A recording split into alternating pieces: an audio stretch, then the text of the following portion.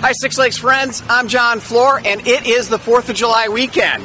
Now, this is normally our really big festival here called Liberty Fest in Chetek, but unfortunately, because of COVID, a lot of our organized events have been canceled.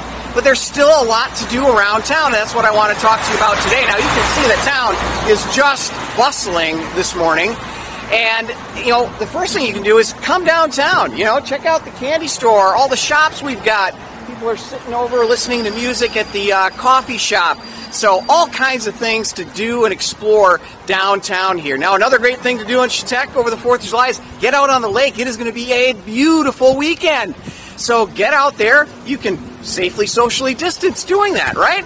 Now, if you're looking for some organized events, um, some of the things going on around town are there's a softball tournament, there's a wooden bat tournament going on, uh, there's two different uh, craft fairs going on. One is uh, down at the airport, and one is at the mill.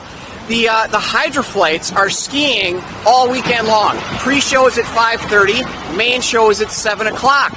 So they're skiing tonight, Saturday night, and Sunday night, and that's a great thing to do for the entire family. So get out and uh, and check that out.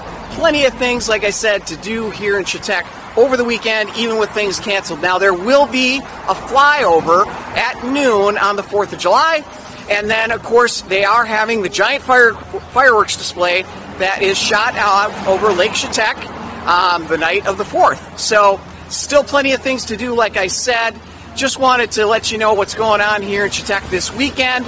Hopefully, you're able to come to town and enjoy things. So, until next time, I'm John Floor signing off for Six Lakes Realty, now powered by Keller Williams Realty Diversified.